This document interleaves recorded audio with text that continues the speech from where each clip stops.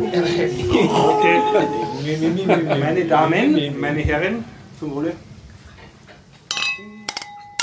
Oh, die schönen Gläser.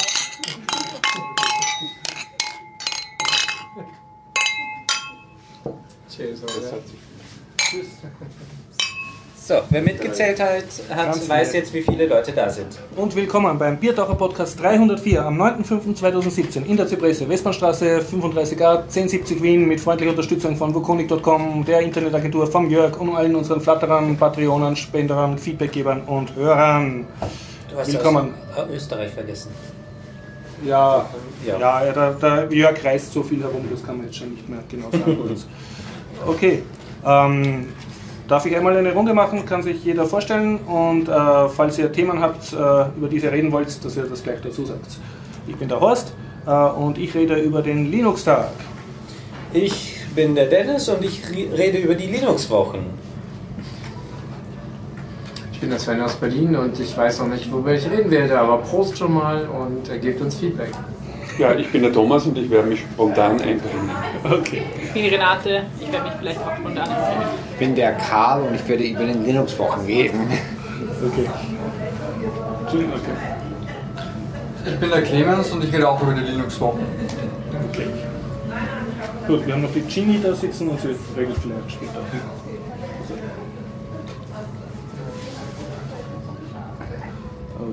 Oh je, wenn ich schreibe, dann wackelt das Mikrofon. Ja, dann musst du offline schreiben. Okay, ähm, haben wir irgendwelche Termine zum Verkündigen? Ähm, wir sind Wien Festival. Wir sind Wien Festival, ja? Wann? Ja, ähm, ich meine, es ist für jede Bezirk pro jeder Tag so. Es ist im Juni, der erste Bezirk ist der ersten Tag und 23. am 23. Tag. Aber bitte kommen Sie alle zum Floridsdorf zum 21. 21. 19.30 Uhr. 21. Mai. Äh, Juni. Juni, 21. Juni. Floridsdorf zu dem Konzert von Renate und Renate Karl. und ich, wir spielen die tollste, schwierigste, wundervollste Klaviermusik, die man hören kann. Ja, ich habe noch für den 19. Mai anzukündigen. Ich meine, es ist der 19. Ja. Mai. Äh, da geht wieder das Friday Night Skating los. Ah ja, genau. Friday Night Skating. Und ich kann ankündigen, okay, ja, bitte. Linux-Wochen Links auch am übernächsten Wochenende, 20. 21. Mai. Okay. Ah, die haben auch welche. Und übernächstes Wochenende ähm, gibt es die Maker Fair Vienna, wo es einen Stand gibt von Spielen programmieren. Bitte alle hinkommen. Es gibt Schokopinguine. Schokolade. Schokopinguine. Ah, sind noch welche übrig geblieben. Na, ich habe nachgewartet. Also, Okay, Feedback haben wir keins zu verlesen, sonst haben wir auch nichts, oder? Dann fangen wir gleich an. Äh, erster Punkt, äh, Linux-Tage Wien, also Linux-Wochen Wien, Ja, beziehungsweise erstmals Pi Days Vienna haben erstmals stattgefunden. Ja. Ja, ähm, wer war zum ersten Mal auf einem Linux-Tag? Ich du, Karl. war zum Karl, ersten zum ersten Mal in deinem Leben warst du auf einem Linux-Tag. Ja, leider, das ist ein bisschen peinlich zu sagen. Ja, okay, wie, wie war das? Es war sehr cool. Da waren, ich war bei vielen Workshops und so Vorträge und ich habe mich auf einer Seite nicht sehr gut weitergebildet bei manchen Vorträgen und Workshops und auf der anderen Seite habe ich mich sehr gut gefühlt, dass ich schon so viel Prozent schon gewusst habe. Schokopinguine. Aber Okay, ja. hauptsächlich war wirklich interessant und es war nie fad oder langweilig, es war immer interessant für mich.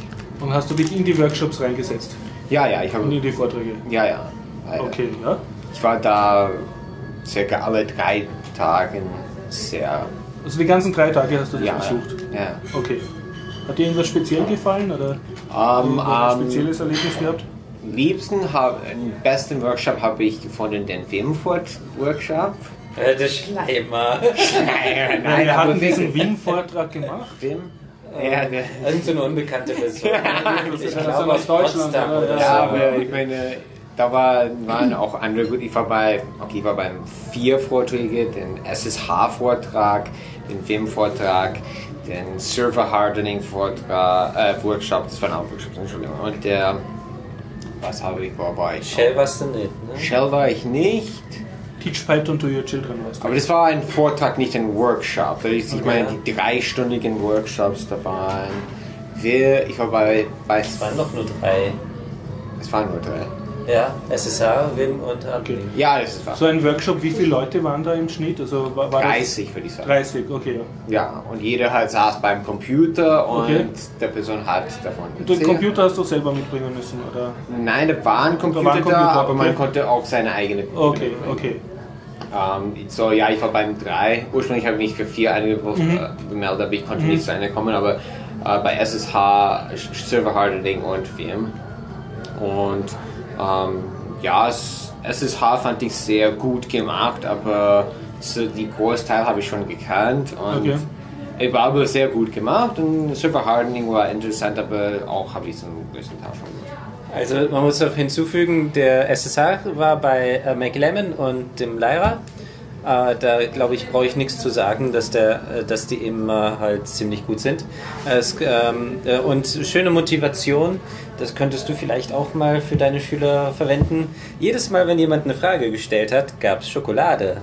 Ah, Ja, also um, um Schokoladenschirmchen.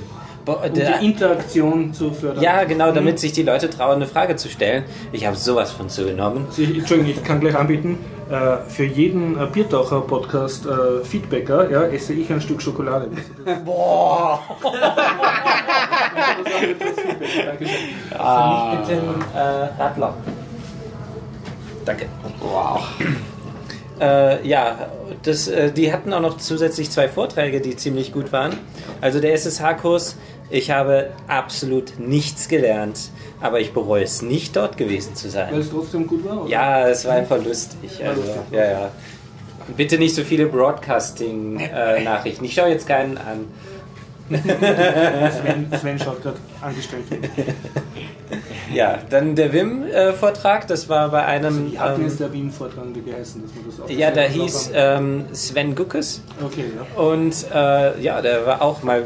Also bei wem kann man so viel immer dazu lernen? Ich habe was dazugelernt, jedes Mal. Ja, ähm, auch sehr zu empfehlen. Ich weiß nicht, ob es von denen auch Aufzeichnungen gibt, aber ich meine schon. Also ich kann mich erinnern, dass irgendwie was aufgezeichnet worden ist. Diesmal nicht. Okay, schade. Ja, Hardening kann ich nichts zu sagen. waren auch viele gute Vorträge, wie zum Beispiel von Horst, die ähm, Teaching Python to Das war aber nicht die Linux-Wochen, sondern Pi-Days. Ja, die PyDs waren ein Teil, Ja, okay, ja, der stimmt, integraler ja. Bestandteil. Ich muss auch sagen, ähm, der Stefan gab auch über Pan Stefan Haslinger. Ich fand, das war ein Vorbild für wie man ähm, vorträgt. Nein, nicht nur, ich meine Nicht nur Vorträge. Für PowerPoint, das ist genau wie man PowerPoint verwenden Mhm. soll. Also ich habe noch nie gesehen, so eine gute Verwendung Ja. von, Richtig. von Präsentation. Ich fasse es noch weiter zusammen, nämlich gar nicht, weil er hat überhaupt kein PowerPoint verwendet. er hat das Ganze in HTML gestaltet. ja, aber ich meine, Ja. mit, mit Slides, dadurch, dass Ja. normalerweise man erlebt ist, dass Leute machen eine Präsentation und die sagen und lesen, was auf die Slides, ja. ja. und er hat nur die Slides benutzt, um zu unterstützen, was er gesagt Ja. hat. Und äh, es hat alles äh, gepasst. Beim ähm, Host war halt ähm, das erste auch gegeben. Also das, was da stand, war nicht das, was er gesagt hat. Aber das mit dem Scrollen hat noch nicht ganz so gut geklappt. Ja, ja. Ja, das war aber auch gut. Also nichts zu meckern eigentlich. Ja. Ja, ähm, Der Clemens ist noch, der äußert sich vielleicht später. Äh, Sven, äh, Renate, du warst nicht auf den Linux-Wochen, gell? Okay. Und äh, Sven, warst du was dort? ist, ja, als Linux-Tage-Konnoisseur, wie war dein Wien-Erlebnis? Ja, ist gut abgelaufen. Ich finde weiterhin, die Linux-Wochen haben ihren Ort gefunden. Ja, im ist ja, definitiv eine Vortragsumgebung und der Technik, Internet und so alles da. Äh, Stände waren auch da und ich habe wieder mal nicht Zeit gefunden, weil, naja, eigentlich Vorträge gehen hintereinander weg. Also du hast zu wenig Standzeit gehabt oder was meinst du, hast Ja, du keine ich, Zeit es gehabt? gibt nicht so die, die definitive Pause, Ja, natürlich, ja, ja. weil es halt weitergehen muss und je mehr, also Also du hättest gern mehr Social Interaction gehabt und mehr Genau. Definierte Pausen, wo man Leute kennenlernt. werden, irgendwie nicht zu einem Vortrag zu gehen.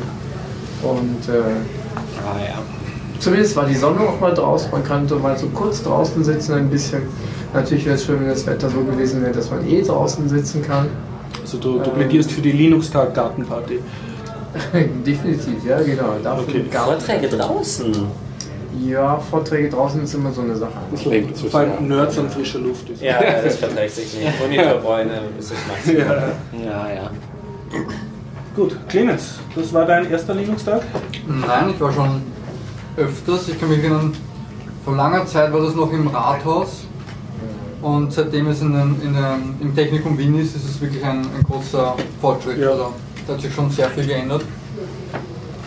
Und diesmal waren wirklich wieder sehr viele interessante Vorträge. Mir hat auch der Wien-Vortrag sehr gut gefallen. ja, weil auch für mich einiges Neues war und dann auch der persönliche Kontakt war sehr schön. Und das Einzige, ja, was ein bisschen schade war, dass äh, manchmal waren interessante Vorträge zur gleichen Zeit. Und Ja. Man konnte leider immer Ja. nur dann einen Vortrag wählen. Wobei man sagen muss, dass auch im großen Raum die, Vorträge immer aufgezeichnet wurden auf Video. Also die kann man sich im Nachhinein jetzt noch anschauen. Also in dem großen Saal wurde aufgezeichnet, definitiv. Im ersten, ja, da stand eine Kamera sogar dort. Es gab eine Kamera, genau, Ah, und ja, die, okay. wurde auf, die wurde aufgenommen. Aber eben leider nicht in den anderen, das fehlt Ja. leider. Ja, da wurde nur meines Wissens äh, Screencasting sozusagen betrieben. Das heißt also, äh, das HDMI-Signal des Monitors, äh, der vorgetragen hat, ähm, der wurde aufgezeichnet und ich meine auch der Ton. Hat jemand von denen, die am Linux-Tag waren, äh, sich den Axiom-Stand angeschaut von den Open Source Kameras? Ja, natürlich. Ja, Ja, ja. kannst, Schon du da letztes was, Jahr. kannst du da was erzählen? Ähm, ja, Aktion ist eine schöne Kamera. also äh, ich habe glaube ich letztes Jahr schon im Podcast über die Aktion geredet. Ähm, was sich jetzt anscheinend geändert hat, dass sie jetzt 4K und 120 Bilder pro Sekunde unterstützen. man sollte dazu sagen, es ist ein Open Source, Open Ah Hardware ja, schon. Ich Filmkamera. vergesse immer das ja? Wichtigste. Es handelt sich um eine Open Source Kamera, kostet ähm, knapp 4000 Euro ohne Gehäuse und ohne Objektiv. Äh, meines Wissens Micro Four Third, das habe ich in Erinnerung von letztem Jahr. Ähm, und ja, äh, hat einen USB-Anschluss, einen HDMI-Anschluss. Beide sind viel zu langsam, um das äh, Material, was man aufzeichnet, ähm, äh, übertragen zu können. Da arbeiten sie noch Mhm. dran. Du hast die Und, ja. speichern jetzt zwischen auf einer Flashkarte, oder? Nee, im RAM. RAM, ah, Die können okay. ungefähr drei Sekunden im RAM halten. Ah ja. Okay, Also okay. für mehr reicht es nicht. Mhm. Und ja. Aber das Projekt lebt und gedeiht. Ja, ja, das lebt und gedeiht. Ähm, die Kamera hat Hand und Fuß und wenn man halt nur HD aufnimmt, Mhm. äh, kann man über HDMI das Signal aufzeichnen und wenn man über USB kann man auch ein bisschen mehr aufzeichnen. Ist ganz interessant, das ist dann so ein komisches FIFO-Device, um es ganz technisch auszudrücken. Ähm, hat er mir erklärt und ja, die Kamera, also letztes Jahr war es noch Full HD, dieses Jahr ist es 4K und 120 Bilder pro Sekunde. Das ist Sie was über den Preis schon gesagt? Oder? ja 4000 Euro. 4000 Euro. 3999 Euro. Äh, schon zusammen, fix und fertig zusammengelötet. Und die Also- ist gedacht für Filmaufnahmen, ne? ja, die ist Ja, keine explizit Fotografie. richtig. Ja. Keine Fotografie, wobei das genauso möglich wäre, wenn man halt nur ein Bild. Und zwar alle Daten raw, nicht ja. wie bei also man kann es dann voll bearbeiten. Mhm. Ja, okay. äh, zum Vergleich die GH5, die jetzt gerade rauskommt von Panasonic, ähm, kann 4K, aber maximal 60 Bilder pro Sekunde und auch nur ähm, komprimiert speichern Mhm, mhm. auf zwei SD-Karten. Sven? Es gab dann noch ein Spiel dort zu Ja, äh, spielen. Mit, Das habe ich nicht also mitgekriegt. das Kamerabild wurde auf der großen Monitor dargestellt. Das war ein übliches Pong-Spiel. Ja. Und gesteuert hat man das mit großen Handschuhen aus Plastik. Mit einem Datenhandschuh. Handschuh. Oder, oder war das nur äh, visuelle Ein Fass von heller, ein heller Handschuh aus Neonfarbe. Und das Ganze letztendlich, äh, ja, muss noch ein bisschen angepasst werden. Natürlich stört so ein bisschen das Hintergrundbild dann dabei, bei dem eine rote große Farbe an dem Ganzen äh, sozusagen im Hintergrund, wie sagt man, stört, im Sinne von hervorleuchtet. Ja, zum Beispiel ein roter Schal Ja, oder der rote Schal ähm, ist von auch. Genau. und trotzdem hast du das spielen können. Also das hat nicht geruckelt. Wenn oder man also so die Störgeräusche, also Störfarben Mhm. entfernt, dann kann man das auch noch spielen, genau. Also letztes Jahr ging es besser beim Spielen. dieses Jahr haben sie die Kamera zu weit oben hingehangen. Also da musste ich ganz schön mich strecken mit meinem. Ja, man muss 1,20 sagen, aber es ist nicht so groß. Ja, aber trotzdem, ja. Also ich kam, äh, konnte äh, das Spiel nicht mehr ganz korrekt spielen. Ja, Letztes Jahr war es besser, da war der Winkel äh, Ja. niedriger, konnte ich spielen. Die haben dieses Mal es eingestellt für Basketballspieler. Ja, so wirklich. aber nur für große Basketballspieler. Gibt es eine andere Sorte? Ja. Okay, dann erzähle ich noch schnell davon. Äh, Ich äh, war beim Python Days diesmal, also die waren inkludiert in die Linux-Wochen, war der erste Python-Tag Vienna, was äh, ein sehr schönes Erlebnis war. Also äh, zwei Tage lang nur äh, Python-Vorträge und gleich wie ich dort hingekommen bin, wurde ich sofort gekidnappt und hat gesagt, du machst jetzt Session Chair. Das heißt, ich habe neben dem Vortragenden sitzen müssen und meine Aufgabe war, so Schilder hochzuhalten mit äh, 10 Minutes left, 5 Minutes left, 1 Minute left und dann halt dafür sorgen, dass der nächste da ist und schon seinen äh, Laptop an den Beamer angeschlossen hat. Und genau zu dem Thema gab es dann gleich eine sehr peinliche Eröffnungsszene, weil ähm, dieses Laptop an den Beamer anstecken hat in dem Saal, wo die Python-Tage waren, nicht funktioniert. Und zwar war der Saal schon voll mit, ja doch schon 50 Leuten, 50 bis 100 Leute. Und die haben dann alle gewartet, ich glaube über eine halbe Stunde eine Halbe Verzögerung gehabt. Und am. Schluss hat äh, also ein Techniker oder ein Nerd ist, äh, hat einen Stuhl auf eine Bank getan, hat sich oben auf den Stuhl gestellt und dann oben so versucht, an dem Beamer herumzudrücken. Wir haben zwei Techniker von der FH-Technikum unter dem Tisch gekniet sind und dort Kabel herumgetan und mehrere Nerds sind halt herumgestanden und haben großartig Tipps gegeben.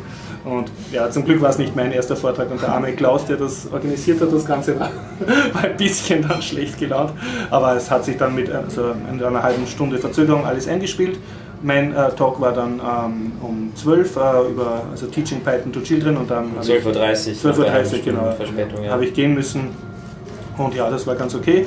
Und am zweiten Tag war ich dann dort äh, im Gang, habe einen Stand gehabt, also habe am Python-Stand mitgeholfen. Und das war sehr, sehr nett. Äh, es sind immer wieder Leute gekommen und haben mich zum Teil auf den Talk angesprochen oder einfach nur so über Python geredet. Und ja, es war also wirklich für mich ein, ein sehr schönes Erlebnis. Außerdem war es sehr nett, dass der Sven mir extra eine indische Reporterin überlassen hat. Ja, extra angeliefert. Ja, die leider heute nicht da sein kann, aber die halt im Norden von Indien ein Radio-Jockey ist. Und ich habe mir sagen lassen von Leuten, die in dem Hostel waren, die auch Gegend kommen, dass sie sehr bekannt sei. Aber natürlich weiß ich, wissen wir nichts davon, weil sie eben auf Gujarati und Hindi spricht. Und selbst Englisch ist nicht gerade so viel dort ähm, oder wird vom Sender gar nicht verlangt oder eher ja, sprich in deiner Sprache. Und ich bin gespannt, was passiert, denn wir haben ja, ihr habt ja Podcasting-Tipps gegeben und jetzt geht sie also nach Hause und wir werden sehen, inwieweit sie das anwenden wird und ob sie dann wiederkommt und uns berichtet darüber, wie es gelaufen ist. Ja, Also ich kann nur sagen, insgesamt sehr, sehr empfehlenswerte Linux-Wochen und vor allem äh, Python-Tage und ja, äh, hingehen und es gab auch so bei den Standeln waren genug Die Leute. Leute sind mir sehr sympathisch. Sympathische Leute. Ja, Okay, extrem. Es sind auch nette Leute da. Und ist es auch was für Leute, die sich gar nicht auskennen? ja. ja, es waren relativ, ähm, ja, es waren, äh, sind Leute zu mir gekommen, die gesagt haben, äh, sie haben jetzt beschlossen, sie wollen Programmieren lernen, aber haben noch nie, also sind totale Anfänger und die haben, glaube ich, auch beim, zumindest bei einigen Python-Vorträgen haben sie was gefunden. Und ich denke, das Interessante ist, dass du in den Standeln davor oder am Gang halt zwischen den Seminaren Leute kennenlernst, die, die dir dann weiterhelfen oder sagen, ja, da gibt es eine Lerngruppe oder da gibt es ein Meetup und so. Also das war recht. Da war auch ein Gespräche. Stand über Internet of Things. Da Genau, ja. IoT Austria, ehemals äh, Otromotics. Ostomotics, ja. Ja, das war auch dort, interessant ja. für mich, denn das, die hatten auch Geräte, zum Beispiel, das ist, schickt deinen Raspberry Pi Informationen über Temperatur und Luftfeuchtigkeit. Ja, ja. Das war, äh, es ist ein Groove-Adapter gewesen. Ich habe zum Beispiel auf meinem Stand dann so einen spontanen Lerne Python in 10 Minuten Stand gemacht, also dass, dass man halt auch für Anfänger was macht. Es gab glaube ich keine großartigen Anfänger, äh, Beginner Seminare, aber das kann man auch noch machen, wenn man Für das was? Genau. Also ja, einfach für totale äh, New- Newbies. Achso, allgemein Linux installieren. Also es ist- SSH gab es Aber es ist normal etwas, was du auf Linux-Tagen noch findest. Also wenn du irgendwie beschlossen hast, du interessierst dich jetzt dafür, solltest du dann auch solche Leute finden. Äh, äh, jetzt habe ich es vergessen, was ich sagen wollte. Clemens, sprich noch von deinem Fazit. Hast du äh, die Standung Ja. auch angeschaut? Oder? Ähm, ich hatte, hatte nicht so viel Zeit dieses Ja. Mal. Aber ich war dann noch in dem, eher auch was schon erwähnt wurde, von McLemmon und Leia in dem Vortrag über Webserver, was auch sehr interessant war. Sehr speziell natürlich, nicht äh, doch ein bisschen geekig, aber wirklich äh, sehr ins Detail, was man noch alles rausholen kann. Ähm, äh, wirklich up to date. Von Kompression über wirklich neueste Verschlüsselung, über Sicherheit allgemein. Sicherheit allgemein, genau. Und wie man das letzte wirklich noch rauskitzeln kann. Also du hast dich gefreut, dass einen hochqualitativen. Vortrag bekommen Ja, hast. ja. Okay. Also das war genau. Und ich glaube, es gab auch einen Vortrag für Linux-Anfänger. Ich bin mir jetzt nicht sicher. Ähm, äh, zumindest gab es irgendetwas über Ubuntu, Ubuntu, oder genau. Ja, Ja. für komplette Anfänger. gab's Okay. gab's Für. Desktop-User. Genau, so. sowas, genau. Ja, ja. Das brauchst du nicht. Es steht ja auch meistens auf auf dem Programm manchmal drauf, also Anfänger oder Ja. Fortgeschrittene. Genau. Ja, und es waren immerhin drei große Hörsäle parallel und mehrere Seminarräume. Ne? Also Ja, so ja. ein ganz Ja. schön großes Angebot. Ja. Ähm, Es ja, gab auch Filme. Wer veranstaltet das ja. Gute Frage. keine Ahnung. Das sind die Leute von Quintessence. Ach Chris so. Eidler macht das ja äh, schon seit 15, 16 Jahren. Okay, nicht, interessant. Und ja, üblichen Verdächtigen, die bei der Quintessence sind, genau, die, der ganze Verein macht das und heißt das. Also das heißt, die, die mieten sich nur ein bei der Fachhochschule. Genau, die Fachhochschule setzt Nicht das zur, stellt das zur. Also Verfügung. die, Ja. okay. Also äh, Fachhoch, äh, Fachhochschule Technikum ist mehr, oder weniger sogar Mitveranstalter. Ja. Äh, es gibt da sogar eine starke Überschneidung personell. Ja, sehr viele Leute, die Vorträge und Sachen gemacht haben, Das arbeiten, auch, ja. ja. Bei der Nicht so viele, aber ja, ja, waren gab es auch ein paar. Ja. Äh, kuriose Vorträge gab es auch, ähm, unter anderem Vinyl to MP3. Da habe ich Also mal Schallplatten. Schallplatten okay. zu MP3. Ich habe mich natürlich reingesetzt, weil ich, äh, wie die, die zuhören, wissen, habe ich Schallplatten und höre sie auch. Ähm, und mich hat die Kuriosität interessiert. Ich habe leider die erste halbe Stunde mehr oder weniger verpasst. Da hat er nur noch zum Schluss den, äh, das Perl-Skript, was er geschrieben hat, erklärt. Das war für mich ziemlich langweilig, weil er einmal hat er alles angezeigt und ich habe sofort alles verstanden und dann ist er auf jedes Detail eingegangen. Und da ich wusste, dass draußen was anderes Interessantes ist, bin ich dann auch gegangen. Es ist vielleicht, es ist eine schöne Kuriosität gewesen. Äh, eine andere Sache für Anfänger ist mir jetzt noch eingefallen und zwar, das hast du gar nicht mitbekommen, Horst. Axiom haben auch am allerersten Tag, am Donnerstag, einen Lötkurs für Anfänger in 10 Minuten oder sowas angeboten. Und zwar nicht irgendwie löten, sondern SMD-Löten. Das musst du erklären, was ein SMD ist. SMD sind äh, die ähm, ganz, ganz, ganz kleinen Kontakte, Okay. äh, die dann gleichzeitig, also normal, äh, früher war es so, ähm, die Pins gingen durch die Platine durch. Man hat also wirklich ein Loch durch die Platine gebohrt und hat die Pins durchgesteckt und dann auf der anderen Seite verlötet. Bei SMD-Löten wird auf der Seite, wo das Bauteil aufgesetzt wird, auch direkt angelötet. Ohne das ist perfekt für Leute, die wollen wissen, wie man Mod-Chips anleitet. Ja, so ungefähr. Es ga- gab dann kleine ähm, Platinchen in Herzform, Sternenform und so weiter zu löten mit ein paar Leuchtdioden und äh, da war schon auch Logikgatter drauf und dann gab es schöne ja, Figuren zu leuchten mit Batterie. Leider habe ich es verpasst. Ja, war nur Donnerstag. Leider habe ich es nicht gelernt, bevor ich meinen PS2 zerstört habe. Aber Sven, ein, ein, ein, deine äh, Fazit als Vortragender, als Seminarleiter.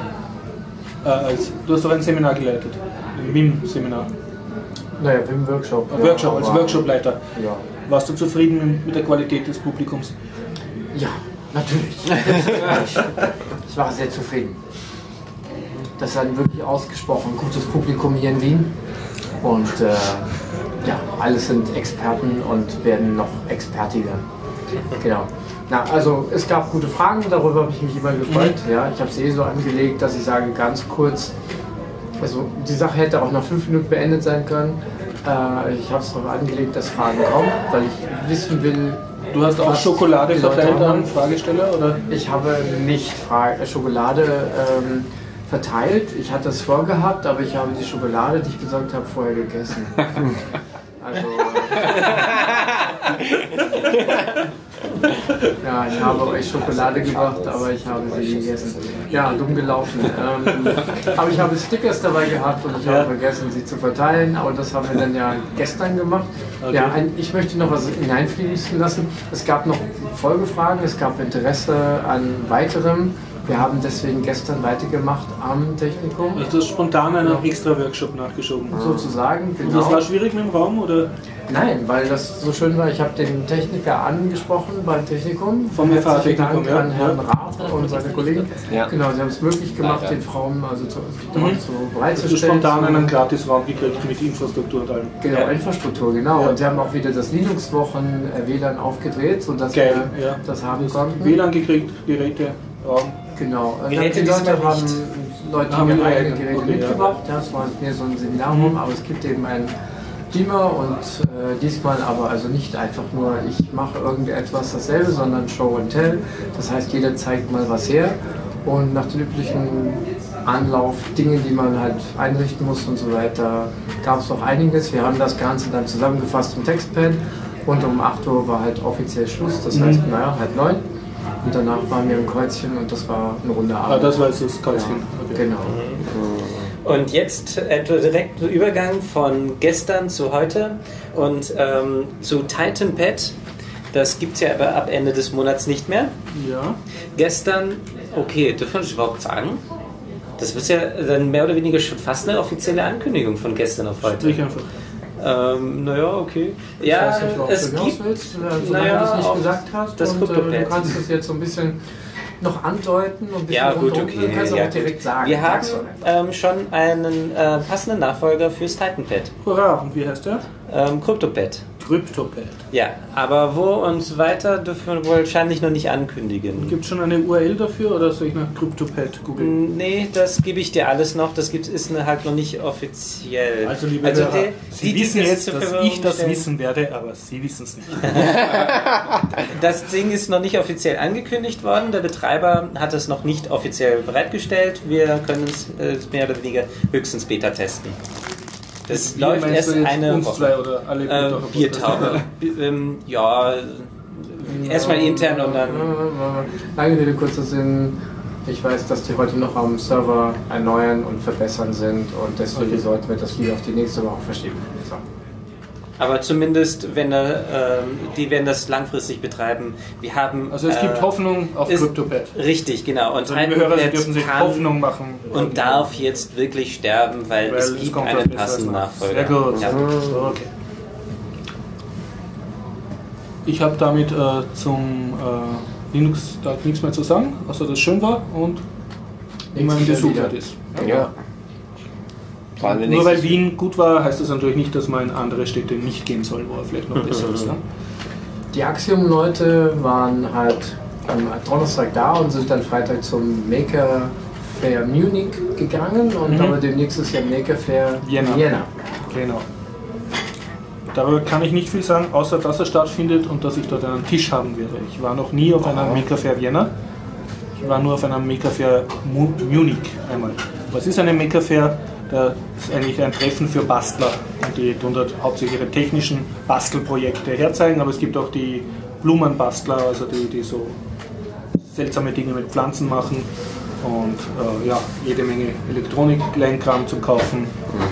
Und ja, und sehr familienfreundlich war was ich letztes Mal gehört habe von Maker Fair. Also es ist auch ein beliebter Familienausflug, wenn man Kinder hat oder will, dass die Kinder sich mehr für Technik interessieren.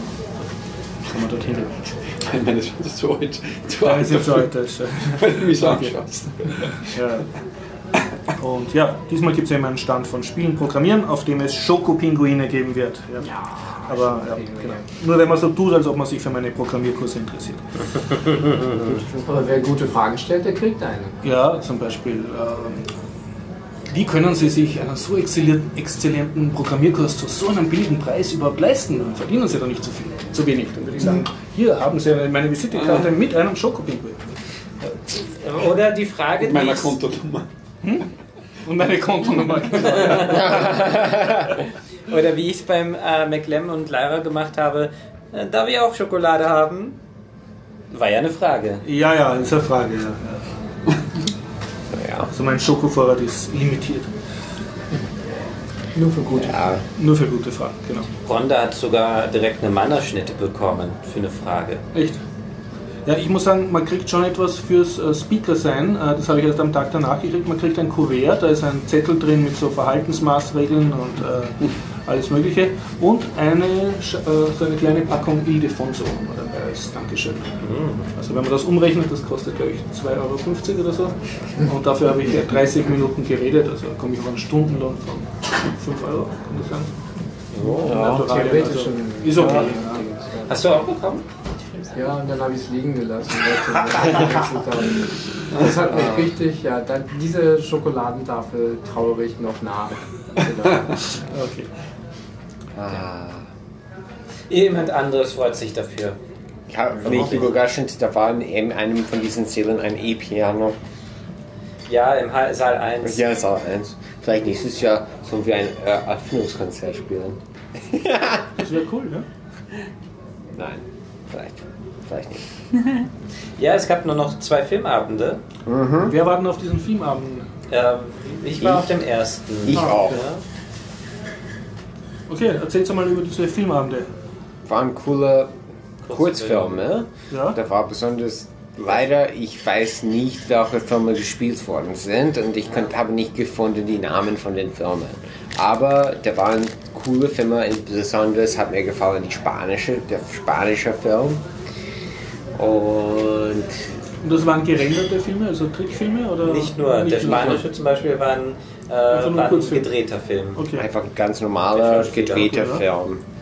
Äh, Und war wirklich ein ziemlich, von der Geschichte her ein ziemlich guter. Es ging um ähm, Weißt du den Diebstahl. Diebstahl, ja, wir sollen Ja. nicht zu viel spoilern, aber es ist sehr gut. Ja, Ich werde versuchen, den Namen der Filme rauszubringen. ja, wir. Hat jemand den vom äh, Boote gesehen, diesen Überwachung? Ich habe es letztes Jahr gesehen Ah, und okay. ich wollte nicht das wieder fragen, außer, ich meine, ich hätte komplett gemein sein können, aber ich wollte nicht so. Sven, du hast den Film gesehen? Und? Ja, eine nette Zusammenstellung von allen möglichen Dingen. Wir werden Ja. überwacht. Was gibt's da? Der Mann ist durch die Weltgeschichte gereist, an die verschiedenen Orte. Er macht ja immer wieder so Hat- Dokumentarfilme, ne? Naja, ich kann jetzt gar nicht so sagen, aber im Wesentlichen, er war an verschiedenen Orten der Welt und hat Ja. Leute befragt zu der ganzen Kontrollengeschichte. Und es war gut zusammengefasst. Ja. Und Jetzt- nach dem Film war er auch selber da, der Filmemacher. Und äh, er war dann umringt von, von Leuten, die ihn dann die nächste halbe Stunde oder sogar dreiviertel Stunde befragt haben. Und was alles gelaufen ist, ja, das hätte man vielleicht aufnehmen sollen. Also mich hätte schon War das interessant, die Diskussion mit ihm? na, ich habe nur Fetzen halt gerührt, aber ich wollte nicht die ganze Zeit rumstehen. Ich hätte mich darüber gefreut, wenn es eben mehr Frage-Antwort gegeben hätte. Äh, aber ich denke mal, die Hälfte der Fragen waren eben dann danach. Okay. Und ja, vielleicht dann das nächste Mal. Im Kötten ist das Essen, dir, oder? Mhm. Ja, ich Okay. werde mich aber mal zurückziehen, damit es sich so rumklappert. Ja. Okay. Ja. Ja, ich, dadurch, dass ich und die Renate, wir waren letztes Jahr die, die Grüne Partei Perschersdorf macht immer jedes Ja. Jahr ein Wanderkino. Okay. Also Und Grünen Mödling eigentlich. Gödling-Mödling machen es und in Perchtelsdorf, genau wo wir wohnen, Mhm. war genau diesen Film gespielt und der Werner Borte war auch da per Okay. Skype. Mhm. Nett. Ja, Ich habe Karl hat gefragt. und ich habe gefragt. Du hast Ich- ihm eine Frage gestellt. Ja, und ich kann mich noch erinnern auf die Frage und die Antwort, aber ich glaube, ich will das nicht sagen. Nicht. Äh, Ja. Ich habe den Film auch schon letztes Jahr im Kino gesehen. Mhm. Er hat mir auch gut gefallen. Ähm, Das meiste oder vieles der, viele der Themen waren mir natürlich schon bekannt. Ja. Äh, wobei ich es gut finde, dass es solche Filme gibt, weil das einfach für die breite Masse der Bevölkerung einfach ein guter Zugang ist zu diesem Themenbereich. Ja, Also das ist wirklich doch ähm, vielleicht ein bisschen aufrüttelnd, hoffentlich. Ja, meiste Leute verstehen nicht, warum diese Privatsphäre wichtig ist. Besonders bei IT-Sachen und bei Privatsphäre-Sachen, was die alles machen können und dass es wichtig Genau. ist. Und solche Fälle braucht man natürlich, um das zum Besten zu vermitteln. Wie hieß denn der Film? Das wurde noch nicht genannt. Ah, alles unter Kontrolle, oder? Genau, ja. Suchst du beim Handy oder? Alles unter Kontrolle. Es war interessant, aber Okay. ich finde es gut, dass in, auch in Österreich von Österreich auf Deutsch solche Filme gemacht werden. Da ich den letzten Podcast auch noch nicht veröffentlicht habe, äh, habe ich jetzt auch keine Themen mehr. Mag jemand von euch noch was einbringen? Ich hatte ja eigentlich keine Themen mitgebracht, absichtlich. Damit- Okay. Äh, ich Machen wir mal habe kurz einen- Oder ich rede mit den Sachen, die ich sowieso letzte Woche schon angekündigt hatte. Machen wir es nächstes Mal. Okay, wieder auf nächste Woche. Passt. Spiele ich ja heute wieder den Gregor. Spielst du Gregor? Passt, ja. Gut, dann würde ich sagen, beenden das. Können wir uns rübersetzen zum Sven. Ja, Dann äh, vielen Dank und äh, bis nächste Woche. Mahlzeit. 19.30 Uhr, Dienstag. Tschüss. Ciao. Ciao. 35. Speaking with Genie from uh, Taiwan Yeah, Taiwan. about uh, first time in Austria. Hi, Genie. Hello. Hello. How long uh, were you living in Taiwan? Uh, 22 years. 22 years. Yes. And then why you le- why you got out? Because I want to find. Uh, uh, I can. Uh, I want have a chance to join the dance company in Europe. What Yeah. kind of dance are you doing there? Contemporary dance, What is that? modern dance. Modern dance. Yes. Is that where you jump around on a stage and Yeah, yeah, yeah. And do something crazy. you can you're screaming? Or? Yeah, or just hit yourself. no. Ah, okay. So, so you express feelings and Yes. with movement. Yes. Okay. But you're wearing clothes, so- so everyone is dressed. Yes. what do you imagine? Easy clothes. Okay. And um, is this kind of dance more popular in uh, Asia or Taiwan then is it in Europe, or is it an think- international movement? I think it's less, it's not so different uh, about Asia or Europe. It's, It's equally all, crazy It's equal everywhere, popular, okay. but because in uh, in Asia we don't have so much uh, chance because the whole art marketing mark The art market? yeah it's not uh, it's Not not enough souls. Uh, we, we don't have. Uh, Is it only in the big cities? Or? yeah, you Yeah, can say okay. that's only only maybe one city in Okay. the country. In Taipei? Uh, yes, in Taipei. okay. And uh, So even you join, there. yes, even you are the professional dancer, Yeah. you join a big dance company, but you cannot support your life just to be a dancer. Okay. Yes, so it's very difficult. Mhm. Mhm. So I want to. F- actually, it's many dancers go out to um, America or Europe to find uh, So there's more market for art. Yes. Okay. And with Asia, with uh, with all these uh, nascent uh, cities who have now middle class and like like Hong Kong and uh, Singapore and all these uh, cities who are very rich and have, have many people, is there no market for art?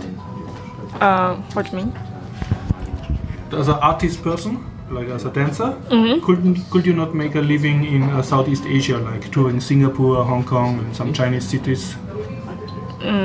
Yeah. What's the question? I don't understand.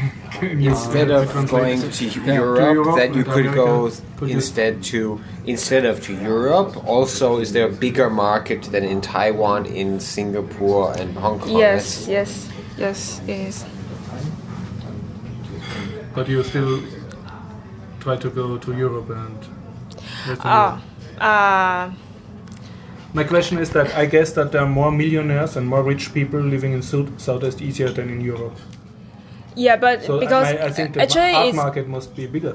it's because the audience, the the public in Mm-hmm. Asia actually is not uh, usually going to theater. Ah, okay. Yeah, so there are rich people, but they are not going, Yes. not paying for art. Yes, I see. they Okay. go to the concert, but the concert is pop music or some. It's Okay. not arts. I see. I Yes. see. Okay. Yeah, big problem actually. Okay. Okay. And do you see uh, is the um, is this changing over time? So is there now uh, it's becoming more popular in Southeast Asia to invest in as a for for audience to go to art performances? Yes, but I think uh, maybe more 20 years after. It's not Okay. now. It's Not now, uh, okay. have to take very long So if you want to dance now, you still as an artist have to go to uh, to the west. Yeah. Okay, understand. okay, yeah. How do you survive? I don't know. you I'm still trying to find my way. yeah. Before I come here, I do many kind of job. I be a dance teacher. I teach a, a teenager uh, ballet class. I do uh, business dance, just like a uh, business dance? yeah business dance. How how I What is explain this? It's like a showcase. Just, just um not not in theater, maybe just on the street, and make a show. Yeah. And yeah, it's a case to. Uh, I need Uh, to, to demonstrate something or to, to make a narrative, Uh, to tell a story. yeah, kind of. so It's for for business companies, for example, or for The business hires you advertisement Yes, for- for yes. advertise something or entertain something. Uh-huh. Okay. Yeah. understand.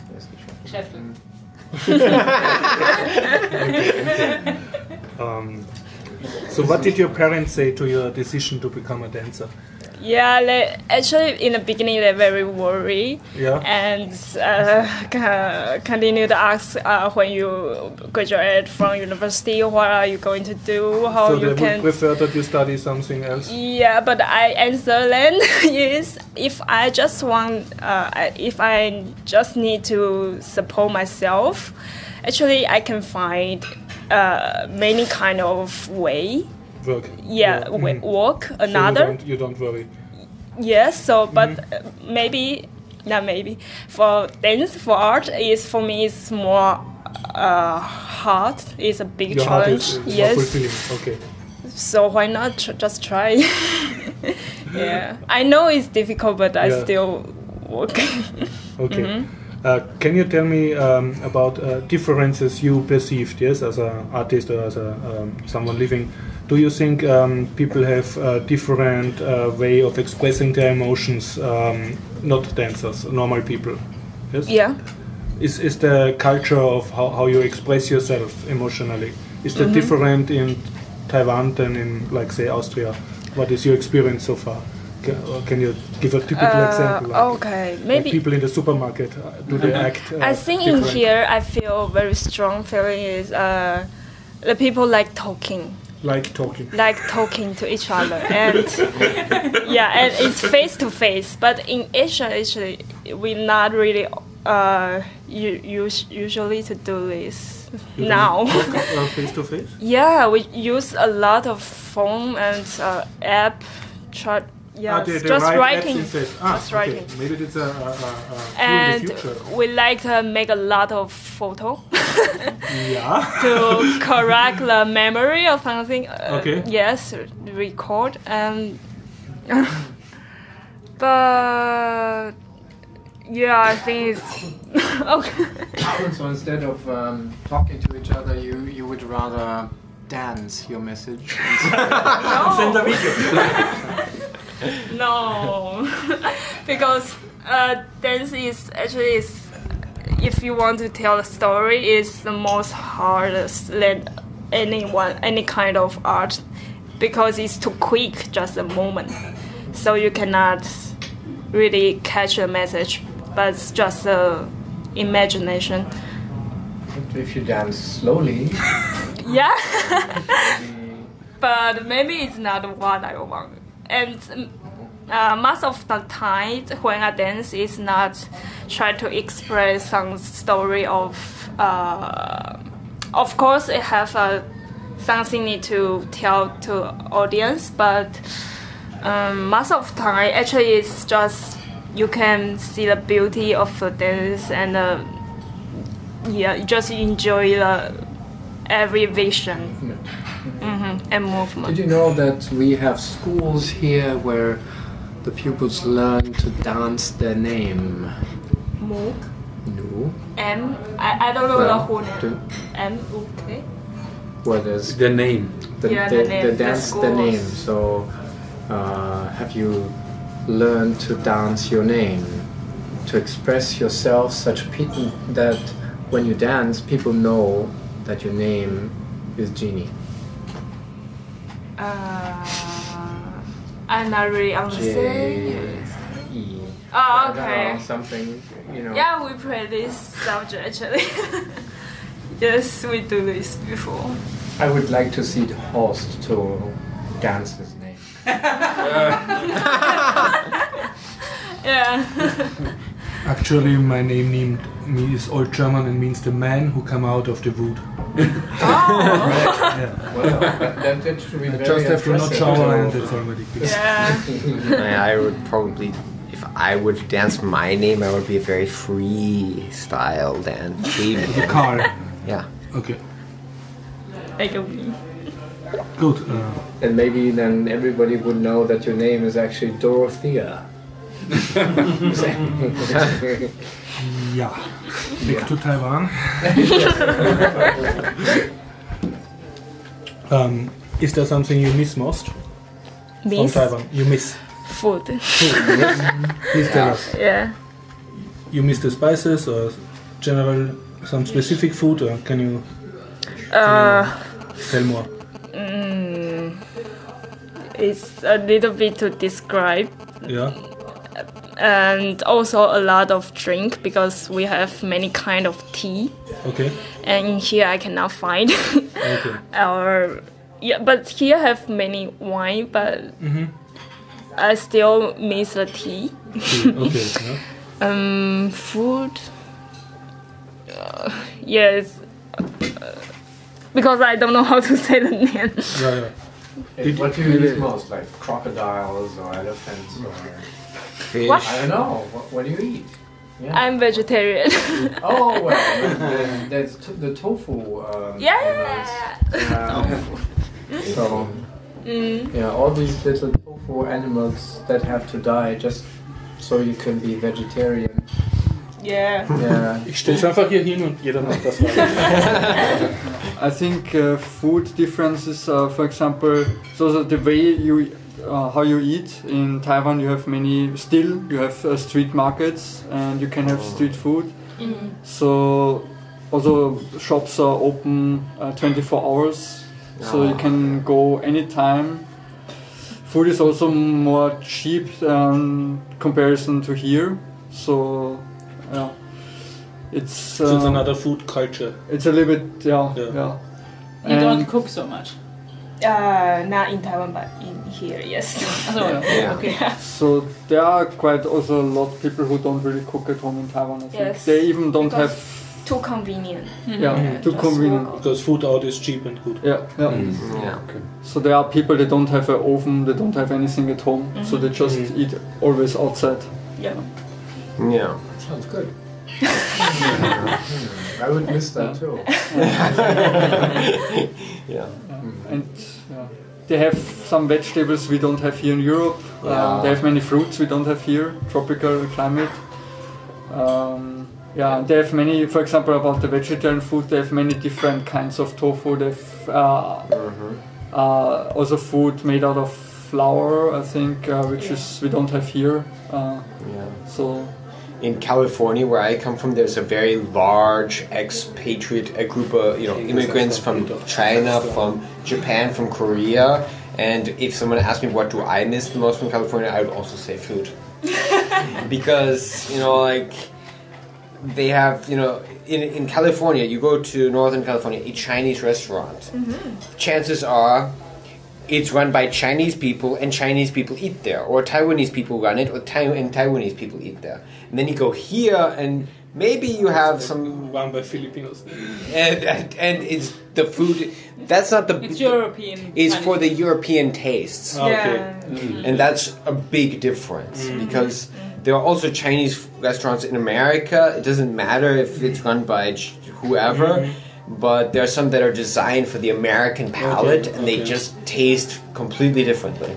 Mm-hmm. It's like Did you found a Taiwanese restaurant uh, in Vienna that Yeah. cooks real food, also like the way Uh, at home? Not really. Not really. but it has a good one. Mhm. Yeah. But not really like at home. of course. Okay. Yeah. How about drinking? Is there a difference in drinking culture? Yeah, because we have so many combinations with uh, um, mm, different tea together. Yeah. We'll have a new one. So, uh, mm, how to say that? I think he was asking about alcohol. Yeah, yeah. Ah, alcohol. Alcohol. Maybe n- i- maybe not so different here. But uh, yeah, the beer here, the beer is much much better. yes, and uh, more kind than Taiwan. What kind? More uh, different type. Uh, different types. Mm. Okay. Okay. More- yeah. And and is there a culture of wine drinking in Taiwan? No. No. Japan is also no wine culture. Asia And then you, you drink um, uh, shots or What?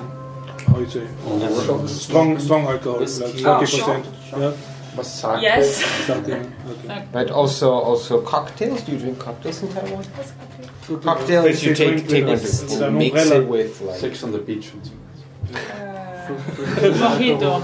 mojito. Expensive. Pina colada. long- yes, yes, yes. Okay. This, is- this is everywhere. Yeah, I think so. You all, everywhere you have American bars. If, if you are in Taipei, you have a good party area. Pop my One question: um, Do you like cheese? Uh, European cheese? Yes, uh, before I come here, I didn't know so many kind of cheese. Oh, you, uh, you Yes, but you know. know uh, cheese?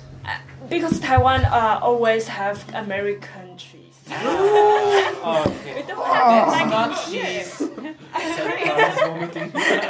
American cheese. It's not even cheese. It's a mix of chemicals and Roundup. But, but Maybe just native. two kind. I don't know the name, Cheddar, but the taste always American the same. with cheddar. But in here, American cheese so many something kind and soft and strong and Yeah. different uh, function. Uh, So you don't have goes- cows. uh, we have, but You have we don't cows? have so They many don't kind give of him milk. Yeah. But you know what cheese is? Is that uh, uh, that uh, it's um, um, verdorben? Uh, Fermented. Fermented, Fermented. milk. Milk. It's old milk. Yeah, yeah. I don't, uh, no, it's verdorben.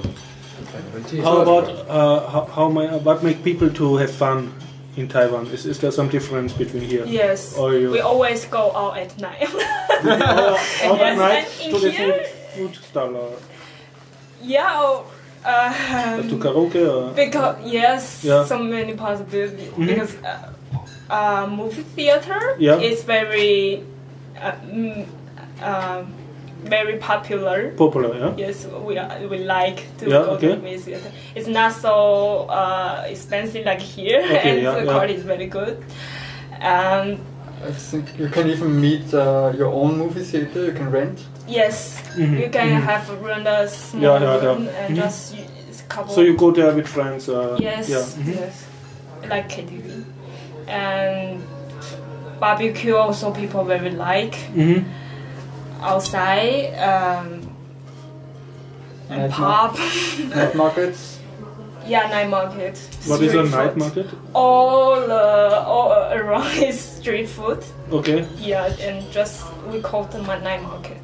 It's only in nine, in the middle nine. But but you do that uh, alone if you come home from work, or is, is, is it something you do with your friends to Uh, to go out for party?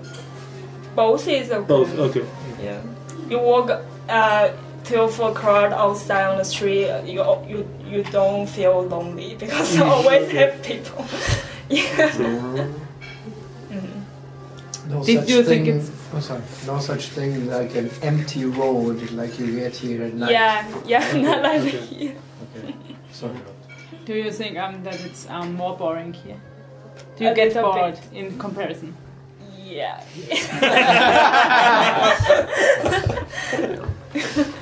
Yeah, At night. People from Asia always ask me, "What are you doing for fun? what do you do in your free time? like meet friends. yeah. What do you do for fun?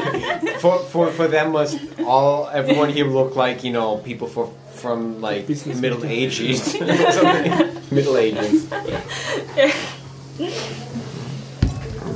People go for podcasting. Of course. Yeah. but uh, we have to say that in Vienna there are something like um, uh, U4 um, and uh, like that. So mm, there are Discos, oder? yeah U4 disco and Disco.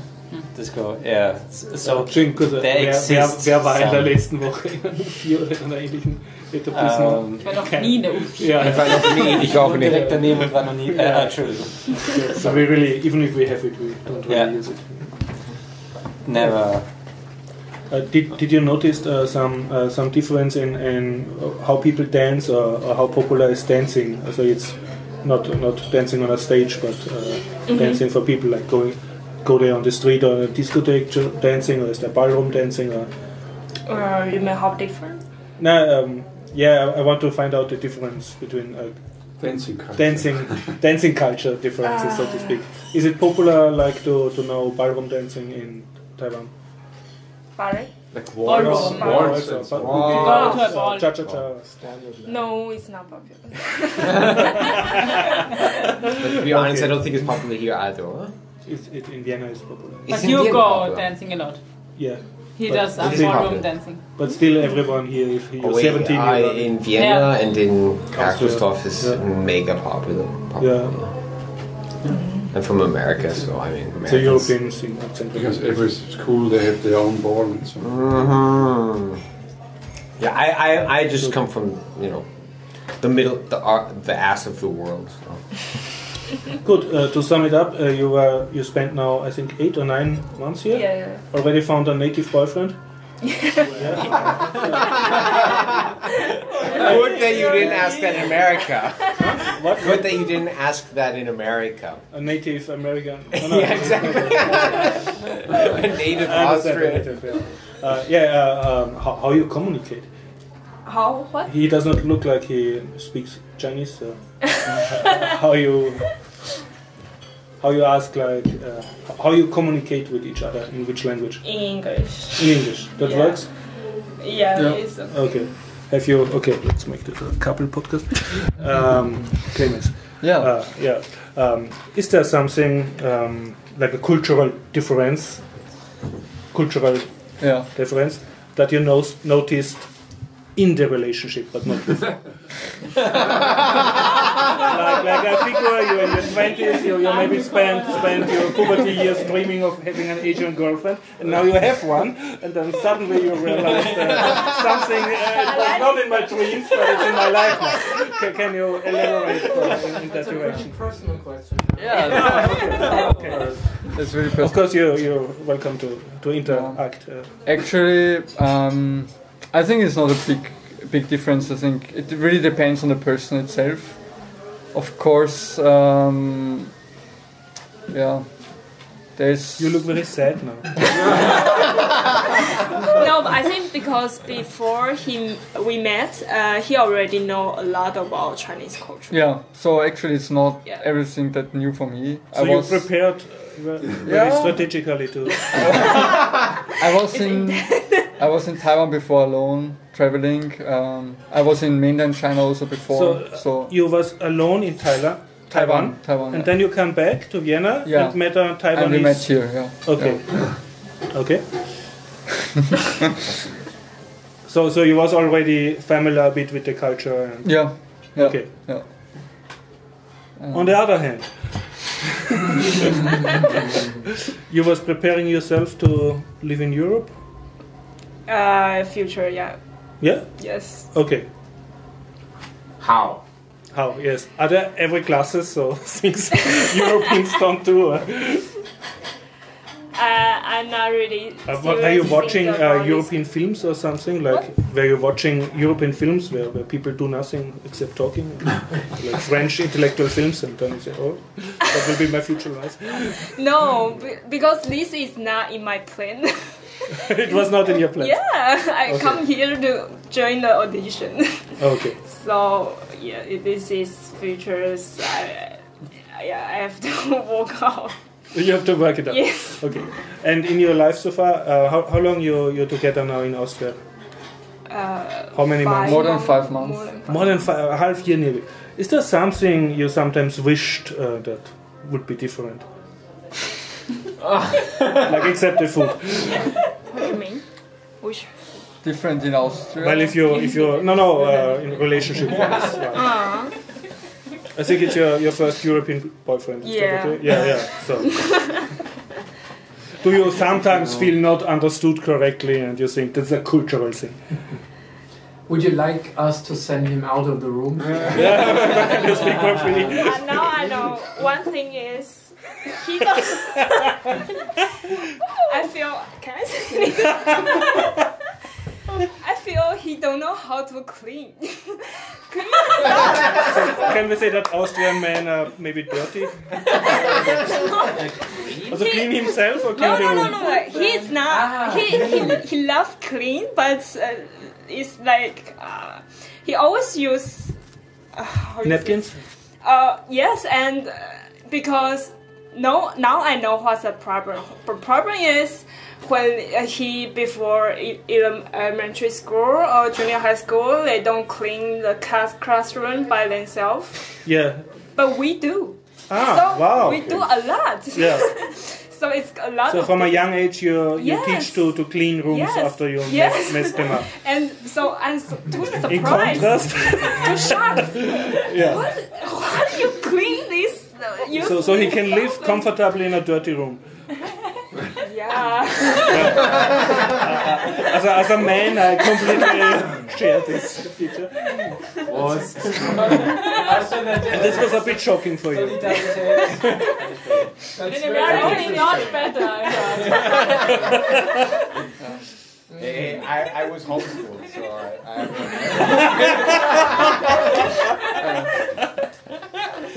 So, so can we give uh, future advice to, to potential uh, inter intercontinental couples? Yes, that a European man should uh, should be uh, get used to idea to clean their rooms. Is that something you? you Yeah. Okay, okay. Something else in this direction? It's very uh, popular with you. You, you, no, you maybe you, you save the future of other couples here by, by now giving advice. they do. Yeah, you know the relationships break because of such things. Yeah. Uh,